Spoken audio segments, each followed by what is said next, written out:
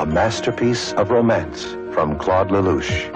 And Now My Love, a story of war and peace, life,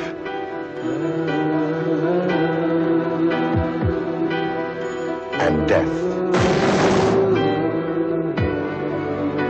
laughter,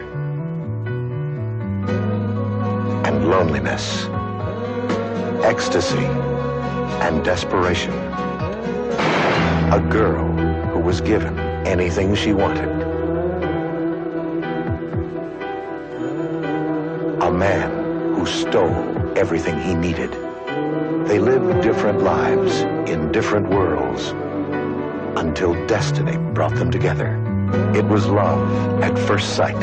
And Now My Love is the perfect gift for all romantics. Que vais-je faire